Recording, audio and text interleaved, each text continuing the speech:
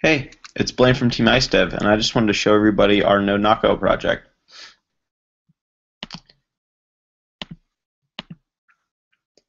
For our Node Knockout project, we created a webhook for Harp.js. Harp.js is a static web server that pre-processes things like Jade, Markdown, CoffeeScript Less, Stylus. The standard way to deploy Harp apps is through Harp.io. Harp.io works by taking your project from Dropbox and allowing you to click the publish button to publish any changes that were made.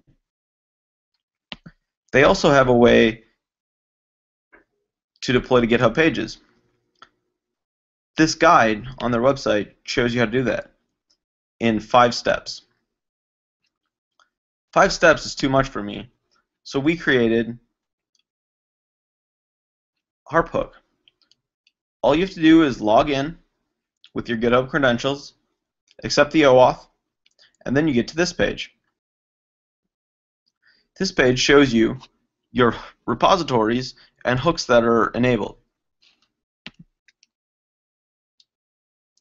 Currently, I have, it says I have Harp Hook demo linked.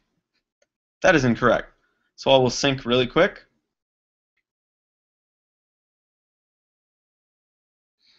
And it's no longer linked. So what we're going to do is we're going to enable it. This attaches a webhook to your project. You may notice that I don't have any files here, so let's push them. I have some files right here that I'll push to our demo. There's our files. After a brief period of time, we're going to see a GitHub Pages branch appear. This is our webhook in action.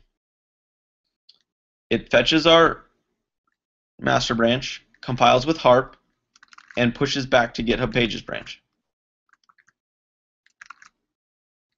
There's another branch.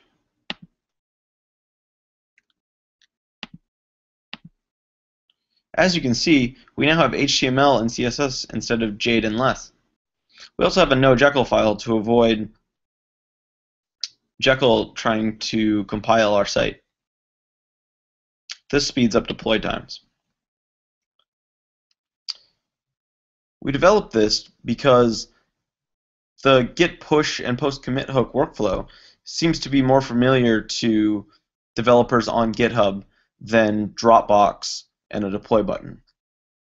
Also, GitHub has free hosting, so that's a plus. Give it a shot and deploy your Harp app now.